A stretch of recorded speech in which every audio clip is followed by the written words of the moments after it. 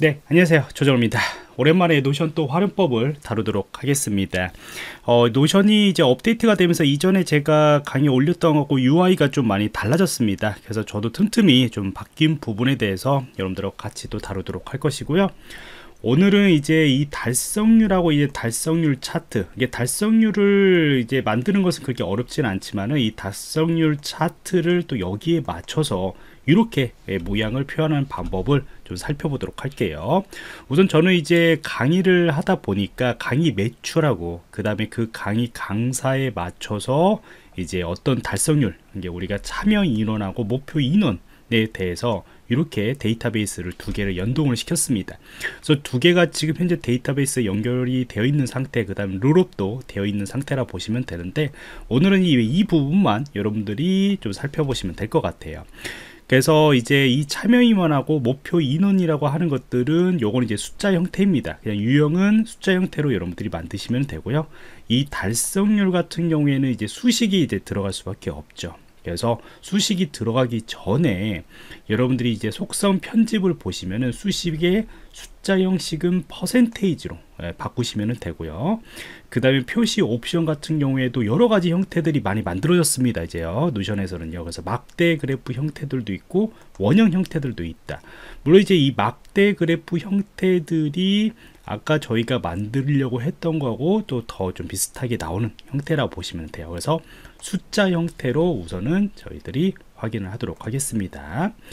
자 그 다음에 여기가 이제 우리가 나누게 되는 것이죠. 그래서 현재는 목표 참여 인원하고 이제 목표 인원 예, 서로 나누게 되면은 거기에 대해서 percentage가 어, 성립이 되는 것이죠. 그래서 표시가 이런 식으로 50% 40% 이게 되는 것이고요.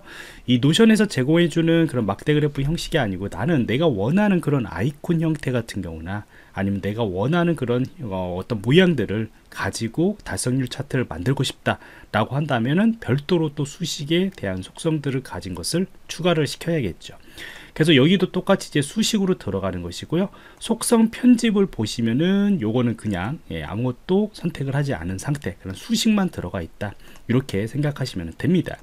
자 그렇다면 요거는 어떤 식으로 이제 우리가 만들었냐 이라고 하는 것들을 보면은 이런 식으로 이제 if문을 가지고 만들었습니다 자 이거를 이렇게 이렇게 화면을 보시면은 좀 헷갈리죠. 그래서 이것을 노트패드에다가 좀 붙여 가지고 제가 설명을 드리면은 어 이게 어렵지는 않습니다. 저희가 if문 이게 조건문이죠. 음, 조건문을 통해 가지고 이 달성률이 0.2보다 작다 라고 한다면은 이렇게 모양들을 우리는 추가를 하겠다.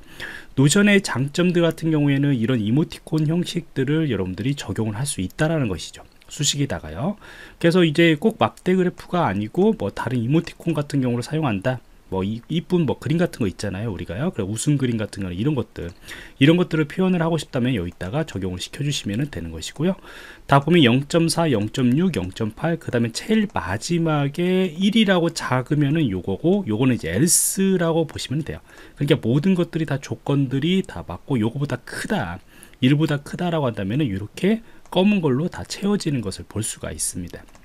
그래서 사실 요거는 이제 이런 정확하게 이야기하면은 이렇게 들여쓰기가 되어 있다라고 이렇게 생각하시면 돼요. 음, 이렇게요. 그래서 이것이 유예가 조건이 이제 안 맞으면 아래로 아래로 아래로 아래로 아래로 가면서 이제 최종적으로 된다 라고 보시면 되고요. 그렇기 때문에 이제 여기 보시면 이것도 여다지도 이렇게 많이 포함된 것을 볼 수가 있습니다.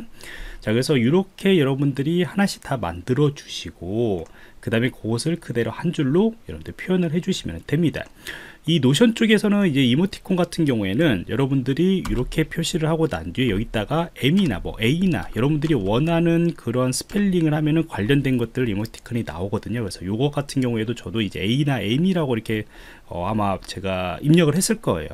입력을 하시면은 이렇게 아래쪽에 쪽에 보시면은 이 관련된 네모칸 이모티콘이 아마 있을 건데 여기죠.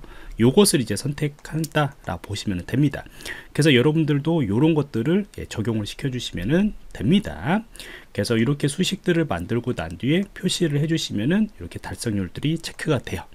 그래서 여기도 이제 Notion 예, 심화학습이라고 이렇게 하고요. 지금 데이터베이스가 다 연결되어 있다고 얘기했잖아요. 그래서 이렇게 표기가 되는 것을 예, 볼 수가 있습니다 자, 그 다음에 여기서 참여 인원 같은 경우에는 이제 10명, 목표 인원은 뭐 한 30명 정도에 된다. 그러면 33.33. 이게 너무나 숫자가 이상하냐. 50% 정도 된다. 그러면 여기도 이제 달성률 같은 경우에도 거기에 맞게 표시가 변하는 것을 볼 수가 있습니다.